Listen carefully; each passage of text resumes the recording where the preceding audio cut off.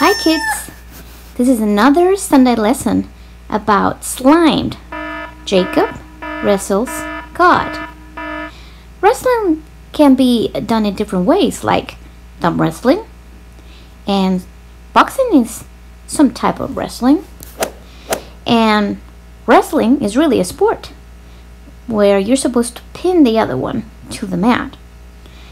Mm, wrestling or fighting could be with lightsabers. Yeah. Um, but definitely the purpose is to defeat the other one, not knock his head like this one. Well, now it was time for Jacob to go to his own land where Esau was. Remember, Jacob slammed Esau really bad and he was still really angry with him. You can see the videos that we showed before. He was really super angry, so he thought he was in big trouble with him.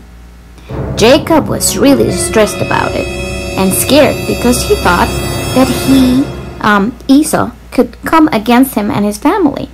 So he sent a lot of gifts in front of him, ahead of him, to see if he could appease Esau and maybe he would forgive him. He also sent his family across the river before him so he could be alone for a while in his distress and pray. And he wrestled with a man, which really was God. Who would even think about wrestling with God?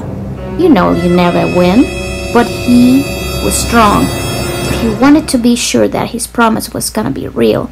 So he wrestled until God blessed him again. And he did. And that was a great thing because when Jacob went to see Esau, Esau was happy to see him and hugged him. So we have to have faith in the promises of God. Like the slime we made. Remember the one I made? I put too much borax in it, and it was hard slime. Mm-hmm. But then Angel followed the recipe and made a gooey one. Even though the best one to play with is the gooey slime, we don't want to be gooey, and we don't want our faith to be um, moved here, there, everywhere. No, we want to be stable, strong, and have a really hard faith and believe in what God has promised us. Not change like the gooey slime.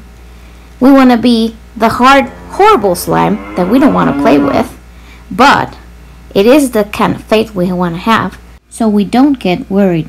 And even though sometimes we're going to get scared and we're going to wrestle and fight with God because we forget to remember His promises, remember that always God is faithful, so we only have to rest in His promises. Like remember the verse, but I call out to God and the Lord saves me. Psalm 55:16. Remember always, air hugs. Bye bye. Till next time.